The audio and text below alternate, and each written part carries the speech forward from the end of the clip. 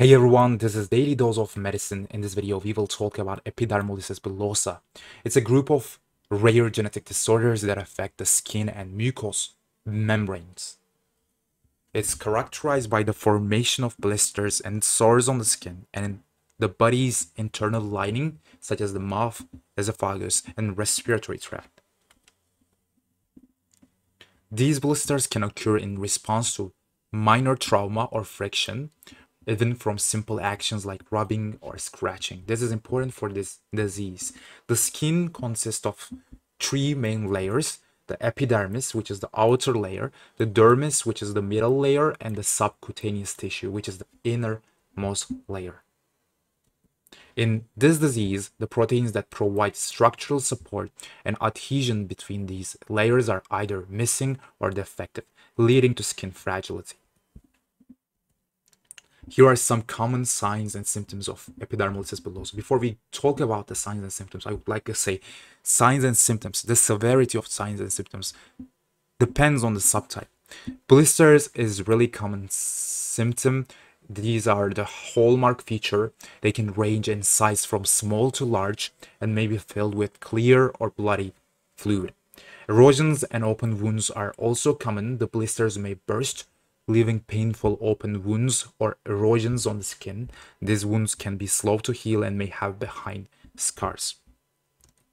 Scarring in some types of epidermolysis bullosa, particularly in dystrophic subtype, healing of the wounds can lead to scarring, which can cause further complications. We will talk about subtypes in the further slides. Mucosal involvement is important in more severe forms. Blisters and erosions can also occur on the mucous membranes lining the mouth, esophagus, and other internal organs. This can lead to difficulty swallowing, gastrointestinal problems, and respiratory issues. We could see nail deformities.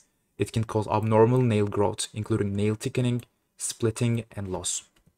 Tooth decay and oral problems could be seen. In some cases, it can affect the teeth, leading to dental issues and increased susceptibility to cavities. Hair and scalp involvement important. Some types may also affect the scalp and hair, leading to hair loss and fragile hair. Photosensitivity individuals with certain types may experience increased sensitivity to sunlight, resulting in skin reactions when exposed to UV lights. Lastly, we have anemia and nutritional deficiencies, chronic skin wounds, and issues with the gastrointestinal tract can lead to poor absorption of nutrients, potentially resulting in anemia and nutritional deficiencies. It's important to note that severity can vary significantly between individuals and different types. Some people may experience relatively mild symptoms, while others may have more severe and life-threatening complications. There are several subtypes and the severity of the condition can vary widely depending on the specific genetic mutation. Let's talk about the subtypes. Epidermolysis bullosa simplex, which is the most common form and is characterized by blistering in the epidermis, which is the outer layer. It tends to be a milder form with blisters often appearing at size of friction like hands, feet, and knees, just like you see on this picture. Junctional epidermolysis bullosa is other type. It involves dermoepidermal junction, which is the junction between inner and outer layer, and it's typically more severe than epidermolysis bullosa simplex. Blisters may occur over large areas of the body and can be life-threatening if they affect respiratory tract. Kindler syndrome, this is a rare type that involves multiple skin layers and is characterized by presence of blistering, photosensitivity, and skin atrophy.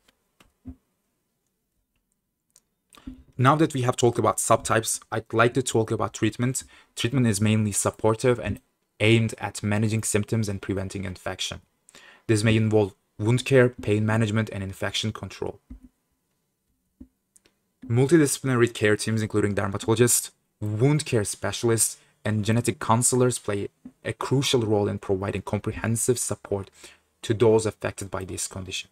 Thanks for watching. Don't forget to watch our Bloom syndrome video. Don't forget to watch our interesting diseases playlist. Don't forget to watch our folate deficiency science video. See you on the next one.